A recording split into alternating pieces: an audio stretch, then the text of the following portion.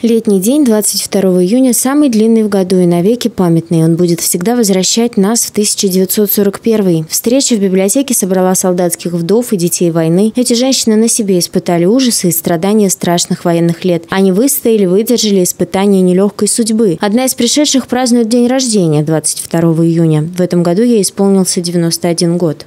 10 лет мне была война началась, отца взяли на войну, нас четверо было, 12, 10, 4 и полтора года от нас всех осталось. И два старика.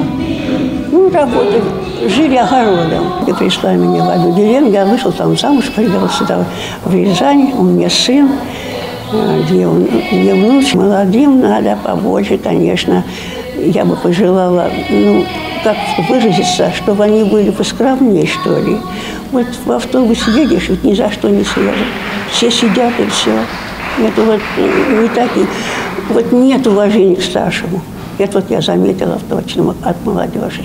Вот свысока смотрят. Сегодня все делятся своими судьбами. Тамара Федоровна Харланова, председатель областного фонда ветеранов войны и труда, приветствуя подруг, рассказала о своем военном детстве. Отец прошел три войны, умер, когда она была совсем маленькой. Маме пришлось много работать, чтобы вырастить детей. Столкнулись с большими трудностями, которые помогала преодолеть вера в лучшее, поделилась Тамара Федоровна. Замечательно, что проводятся такие встречи. И вот ежегодно в библиотеке имени Горького приглашают вдов на вечер памяти, э, вдов погибших на полях сражений, вдов ветеранов, которые прошли войну, прошли эти страшные годы.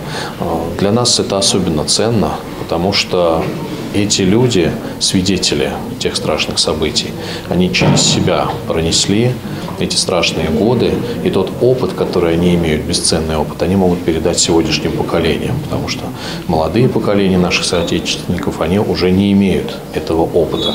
Но память о войне священна, и память о войне позволяет избежать новой войны. Канун памятного дня в этом году удалось установить место гибели 26 рязанцев. Свой последний приют они нашли под Псковом. Теперь их имена увековечены на мемориале, установленном в тех местах, а близкие знают, где похоронены их родные. В память о погибших в годы Великой Отечественной войны отслужили за упокойную литию.